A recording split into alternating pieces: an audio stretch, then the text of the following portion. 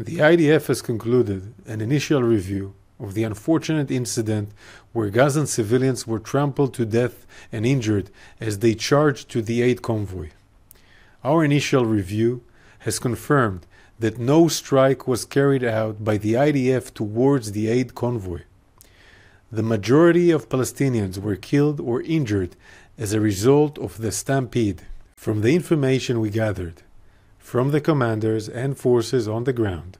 Our initial review has indicated that following the warning shots fired to disperse the stampede and after our forces had started retreating, several looters approached our forces and posed an immediate threat to them.